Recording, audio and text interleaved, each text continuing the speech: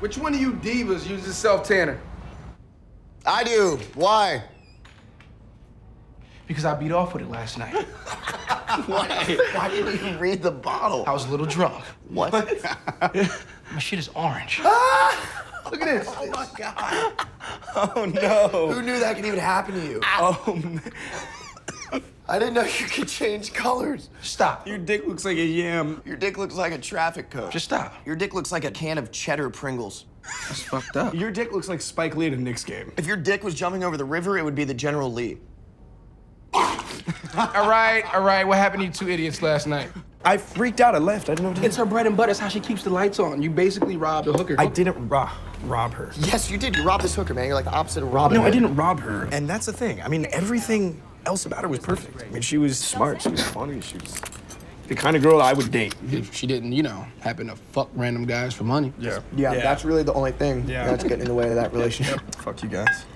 Did you friend that girl yet, Mikey? The glasses girl? No, I mean, can you even do that that fast? Dude, you gotta make her laugh. Get a rapport going. Yeah, man. Give me your phone real quick. Give me your phone. We live in an extremely efficient world. Okay? Somebody else could be sealing the deal right now. Listen, last night was amazing. Okay, I had a great time. You guys were awesome. Thank you. All right, but I'm gonna call Vera. We got some things that we need to just need to work on. No. Come on. It's a bad move. You don't want to do that. Horrible move. We had so much fun last night. Yeah.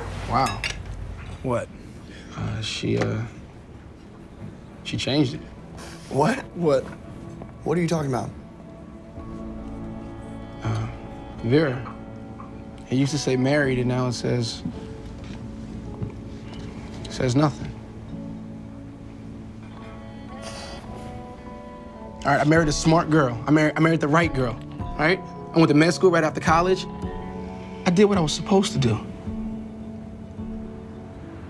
I checked the boxes.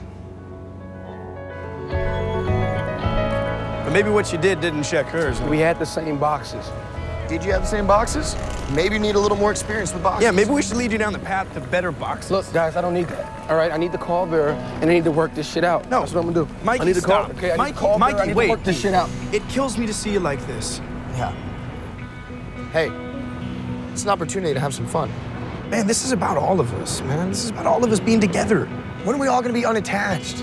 In our 30s, we're gonna settle down with kids, we're gonna live a boring life. This is about us right now. I don't know. We're staying single with you, man. We're staying single with you. We're gonna keep last night alive as long as humanly possible. Nobody gets in a relationship. Nobody changes their status. Right? I'm in. I'm in. Come on. Come on. Come on. Michael, are you in? Fuck it. I'm in.